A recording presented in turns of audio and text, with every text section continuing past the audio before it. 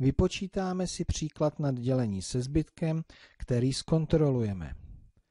36 děleno 5. Nejbližší nižší násobek je 35.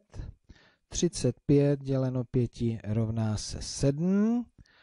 35 a kolik chybí do 36 rovná se 1.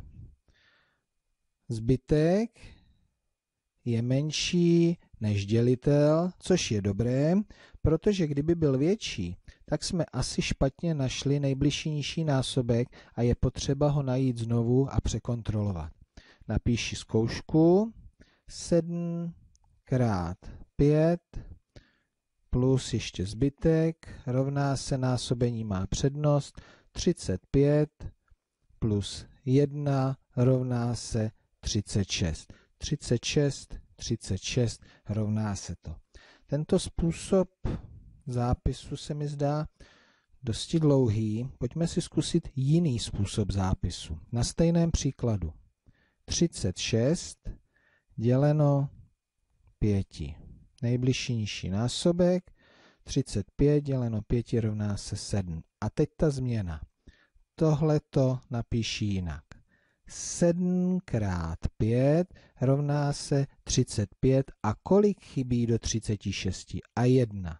Zbytek zapíši dolů pod dělence. Napíšu zbytek. Tak, tady můžu zkontrolovat, že zbytek je menší než dělitel. Zkusíme si tento jiný způsob zápisu ještě na dalším příkladu.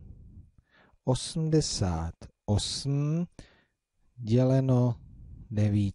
Nejbližší nižší násobek 81 děleno 9 rovná se 9.